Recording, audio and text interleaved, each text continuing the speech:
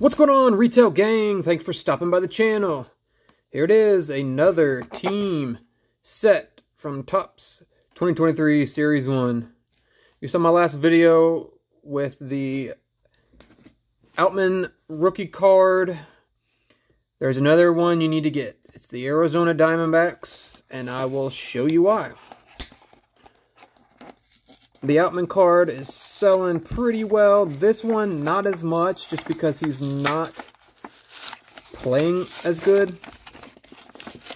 I think overall, I think he's a better player, or will be. Let's see if we can get these out of here.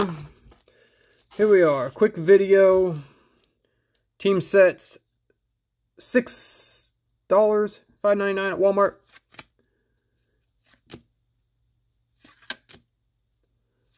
Let's see if we can find him. Outman was in the very back on the Dodgers team set. There he is. Corbin Carroll. No base card in 2023 Series 1.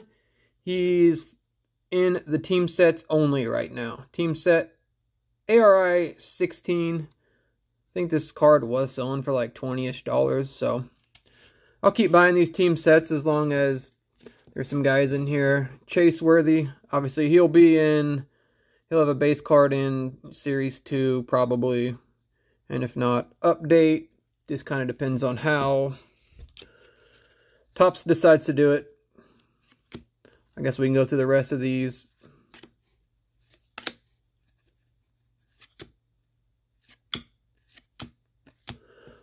Yep, so there it is. Corbin Carroll, he's in this Diamondbacks team set at Walmart.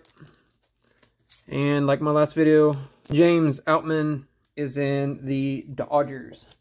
Get a top loader on him. Here we go.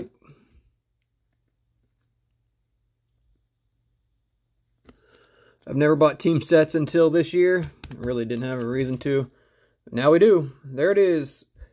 Corbin Carroll.